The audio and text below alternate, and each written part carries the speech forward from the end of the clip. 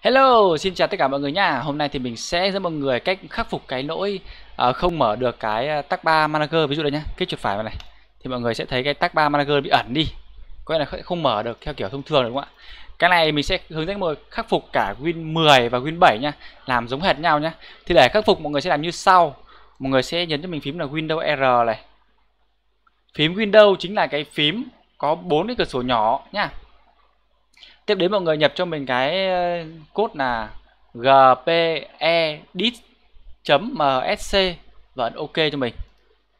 Tiếp đến thì mọi người sẽ vào cho mình cái thư mục như sau. Admin chan templates.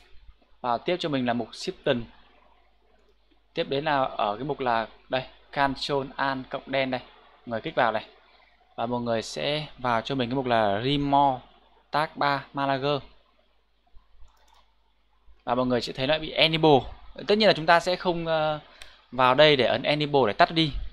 Ở đây thì mình ờ, nhận thấy những cái máy mà mình đi sửa ấy mà bị lỗi như thế này ấy thì thông thường cái máy đấy nó bị dính virus rồi.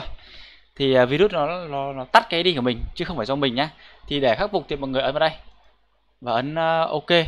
Và nó sẽ thấy hiện lên này. Thì mọi người sẽ mở lại như bình thường. À, tuy nhiên ấy, thì những cái máy mà đã dính virus rồi ấy mọi người mở lên ấy, có có thể là sau khi mọi người khởi động lại máy tính ấy, thì nó sẽ lại bị tắt. Và để làm triệt để thì việc đầu tiên mình sẽ hướng dẫn mọi người để làm triệt để cái vấn đề này.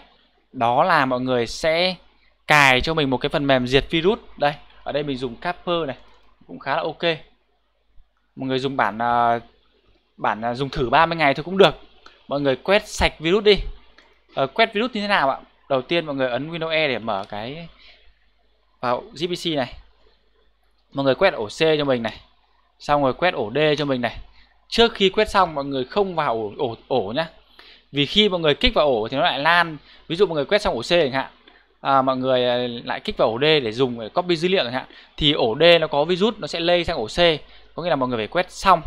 Quét xong hết rồi thì mọi người mới mở ổ ra nhá. Và sau khi quét xong rồi thì nếu mà máy tính vẫn dùng ngon lành thì không cần phải cài Win. Còn nếu mà máy tính không dùng ngon lành nữa thì mình khuyên mọi người là lên cài lại Windows cho nó mượt mà. Ok, thì ai mà chưa biết cách cài Windows thì có thể xem video bên dưới nha. Mình đã có một cái video hướng dẫn về cách cài Win rồi. Ok, thì mình xin kết thúc cái video tại đây. Mọi người xem video thấy hay cho mình xin nút like. Muốn đăng ký kênh ủng hộ mình nha. Xin chào mọi người và hẹn gặp lại. Bye bye.